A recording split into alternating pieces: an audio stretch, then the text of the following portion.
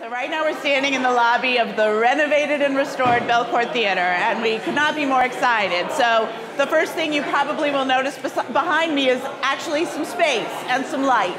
Those are things we didn't used to have. There's actually room for all the people who would come to see the movies here. Behind us are beautifully renovated restrooms that are fully ADA uh, accessible and are spaces that we know patrons are going to love for people who have been coming to the Belcourt, they know you used to have to walk up to a window and talk into this tiny little hole to order your tickets.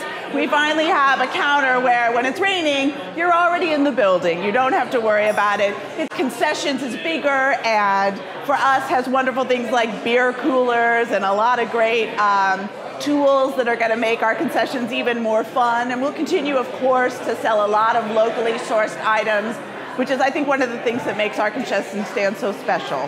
We're thrilled to have people back in the building. We've missed our, our, our friends and patrons, and we're really excited to throw the doors open to the community.